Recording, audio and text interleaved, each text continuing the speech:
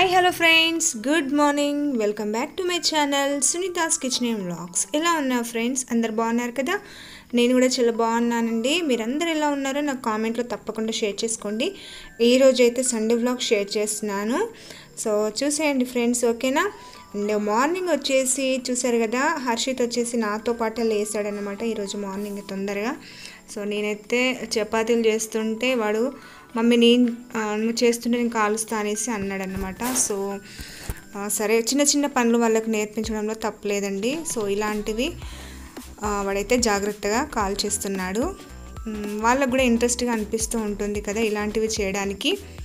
So సరే అనేసి నేను ఓకే అంటే వాడు కాల్స్తున్నాడు అన్నమాట చెప్తూ ఉంటే. అండ్ ఒక్క స్మాల్ రిక్వెస్ట్ ఫ్రెండ్స్ ఎవరైనా కొత్తగా నా ఛానల్ చూస్తున్నట్లయితే మర్చిపోకుండా కింద రెడ్ కలర్లో సబ్స్క్రైబ్ ఆప్షన్ ఉంటుంది. క్లిక్ చేయండి వెంటనే బెల్ ఐకాన్ వస్తుంది. దాన్ని కూడా ట్యాప్ చేసినట్లయితే నేను రెగ్యులర్గా పెట్టే వీడియోస్ మీరు మిస్ కాకుండా చూసేస్తారు ఓకేనా అలాగే లైక్ చేయడం కూడా అస్సలు మర్చిపోవద్దు ఈ వీడియోకి ఓకే ఫ్రెండ్స్ చూసారు కదా ఇలాంటివి చేసినప్పుడు పిల్లలు అయితే చాలా హ్యాపీగా ఫీల్ అవుతూ ఉంటారు కదా. మనకు కిచెన్లో ఏమన్నా కొద్దిగా హెల్ప్ చేశారనుకోండి మొత్తం వాళ్ళే చేసినట్టు వాళ్ళ డాడీ చెప్తూ ఉంటారు. సో వీడు కూడా వాళ్ళ డాడీ లేచిన తర్వాత చెప్తున్నాడు అన్నమాట ఆ డాడీ మమ్మీ చపాతీలు చేస్తుంటే మొత్తం నేనే కాల్చాను తెలుసా? మస్తు హెల్ప్ చేశాను మమ్మీకి అనేసి చెప్తూ ఉన్నాడు. సో అప్పుడప్పుడు చి ఈ చిన్న ఇలాంటి చిన్న చిన్న పనులు చెప్పడంలో అయితే అసలు తప్పులేదండి నాకు తెలిసి అయితే నేర్పించాలి పిల్లలకి ఇలాంటివి. సో గ్యాస్ దగ్గర కాబట్టి ప్రాబ్లం అవుతుంది అనేసి అనుకోవచ్చు. సో మనం ఉన్నప్పుడు మాత్రమే పిల్లల్ని ఇలాంటివి చిన్న చిన్నవి చే చేపిస్తూ ఉండాలన్నమాట. నేను మొత్తానికి పిల్లల్ని అక్కడ కిచెన్లో వదిలేసి మనం వేరే పని చేసుకోవాలనేసి అయితే అంటలేను. సో ఇలాంటి వాళ్ళకి ఇంట్రెస్ట్గా ఉండేటివి దగ్గరుండి చేపిస్తే బాగుంటుందన్నమాట. ఓకేనా? అండ్ మన విషయానికి వస్తేనైతే చపాతీలు ఇలా చేసేటప్పుడు పక్క నుండి ఎవరైనా కాల్స్తే బాగుండు అనేసి అయితే ఎంతమందికి అనిపిస్తుందో నాకు కామెంట్లో షేర్ చేయండి. సో అలాగే ఉంటుంది కదా ఫస్ట్ చపాతీలన్నీ చేయాలి తర్వాత వన్ బై వన్ కాలుస్తూ ఉండాలి కదా. ఇలా అయితే ఫాస్ట్ ఫాస్ట్గా అయిపోతుంది. పూరీలైనా ఇలాంటి చపాతీలైనా పక్కన ఎవరైనా ఉండి హెల్ప్ చేస్తుంటే బాగుంటుంది కదా. సో ఈ రోజు అయితే మా హర్షిత్ కన్నే హెల్ప్ చేయడం వల్ల తొందర అయిపోయినట్టే అనిపించింది నాకైతే ఈరోజు అండ్ నెక్స్ట్ మీతో షేర్ చేస్తున్నాను. మధ్యాహ్నం వచ్చేసి మేము టైలర్ షాప్కి వెళ్ళామండి. బ్లౌజెస్ వచ్చేసి స్టిచ్చింగ్కి ఇచ్చాను. నాది అలాగే మా ఫ్రెండ్ అన్నమాట.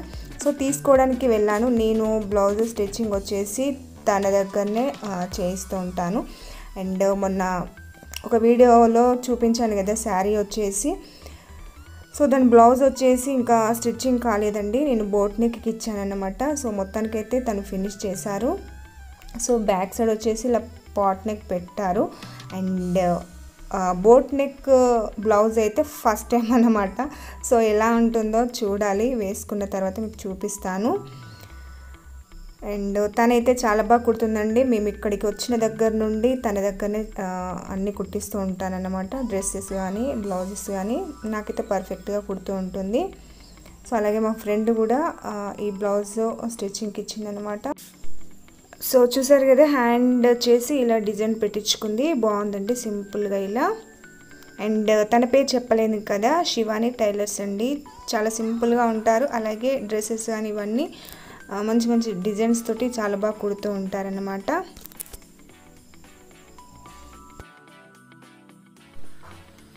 ఓకే ఫ్రెండ్స్ నెక్స్ట్ ఈవినింగ్ వచ్చేసి మీకు ఒక మంచి వడ రెసిపీ చూపిస్తాను. సో అదేంటంటే కాబులి శన వడ అండి. చాలా చాలా టేస్టీగా ఉంటుంది. తప్పకుండా ట్రై చేయండి. దానికోసం అయితే ముందు రోజు నైట్ నేను కాబులి శనగ నానబెట్టాను. నెక్స్ట్ డే వచ్చేసి ఇలా మిక్సీ జార్లో వేసుకొని టేస్టీ సరిపడ పచ్చిమిర్చి వేసుకోవాలి. అలాగే ఒక అల్లం ముక్క ఉంటే అల్లం పీసెస్ ఇలా వేసుకోవాలి. లేదంటే వెల్లుల్లిపైన వేసుకోవచ్చు. సో ఈ మూడు ఒకసారి మిక్సీ పట్టేసుకోవాలండి మెత్తగా. మరీ మెత్తగా అవసరం లేదు లైట్గా బరకగా ఉండొచ్చు. చూసారు కదా ఈ విధంగా అన్నమాట. ఓకే ఇప్పుడు దీన్ని ఒక వేరే బౌల్లోకి తీసుకుందాము. తప్పకుండా ట్రై చేయండి. కాబులి శనగలతోటి మనం కర్రీస్ చేస్తూ ఉంటాము. అలాగే ఉడకపెట్టేసి కూడా తింటూ ఉంటారు కదా. మేము అప్పుడప్పుడు తింటాం అన్నమాట పిల్లలకు కూడా చాలా ఇష్టం అవి. సో అలాగే ఇది కూడా ఈ వడ కూడా ఒక్కసారి ట్రై చేయండి ఎంత బాగుంటుందో మార్నింగ్ అయినా ఈవినింగ్ అయినా స్నాక్లా చేసుకోవచ్చు అన్నమాట. ఓకే ఇప్పుడు ఇందులో కొద్దిగా టేస్ట్కి సరిపడ సాల్ట్ వేసుకోవాలి. అలాగే కొద్దిగా జీలకర్ర కూడా వేసుకోవాలి. అలాగే కరివేపాకు అండి కరివేపాకు పుదీనా కొత్తిమీర ఉంటే ఇవన్నీ చిన్న చిన్నగా ఇలా కట్ చేస్తూ వేసుకోవాలండి.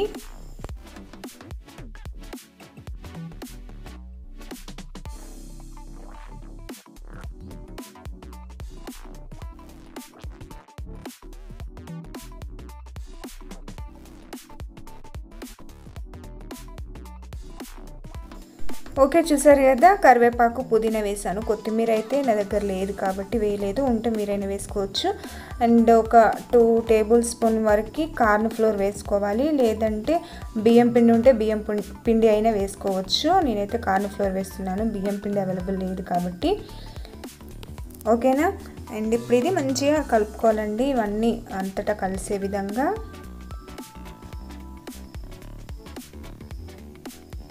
ఓకే అండి ఇలా కలుపుకున్న తర్వాత ఆయిల్ కూడా డీప్ ఫ్రైకి పెట్టేశాను వేడైపోయింది.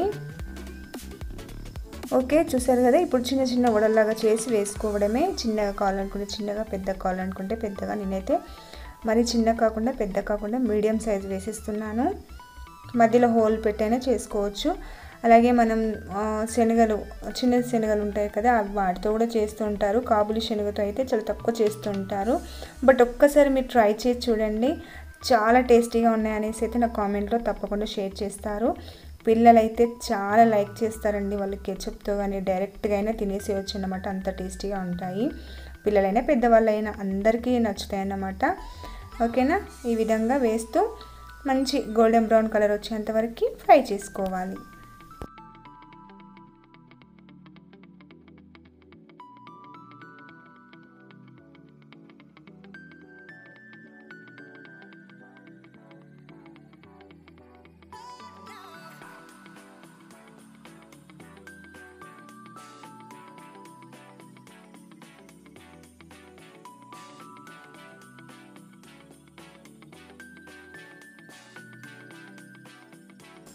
చూసారు కదా. అండ్ నెక్స్ట్ వచ్చేసి ఇవి కాబూలి శనగ ఉడికించినవి అన్నమాట హర్షిత్కి పెద్దోడికి అయితే ఇలా ఉడికించినవి తినడానికి చాలా లైక్ చేస్తాడు. వాని కోసం కొన్ని ఉడికించాను. అలాగే కొన్ని వచ్చేసి ఇలా వడలాగా చేశాను. అండ్ ఇది నెక్స్ట్ డేది కొద్దిగా యాడ్ చేసేసాను ఇందులోనే. మేము వచ్చేసి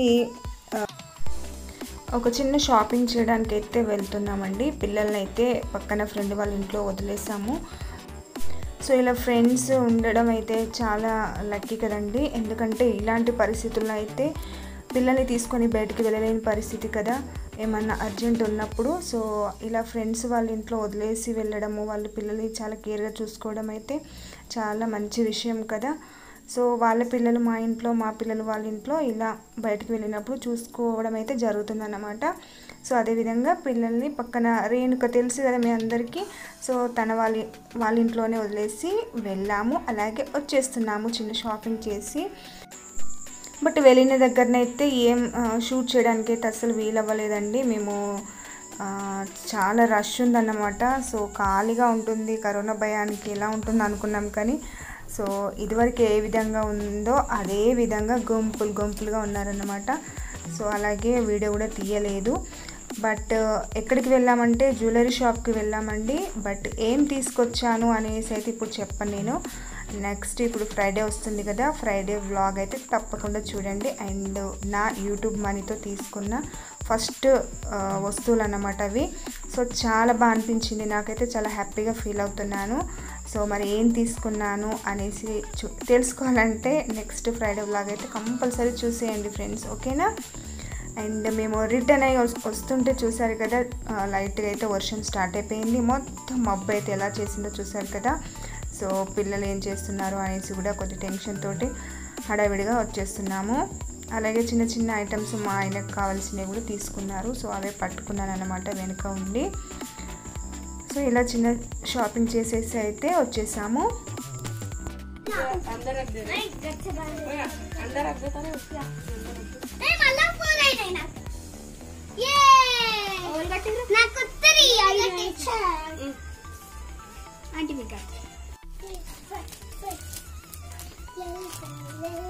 ఇంకా రాలే కర్రీ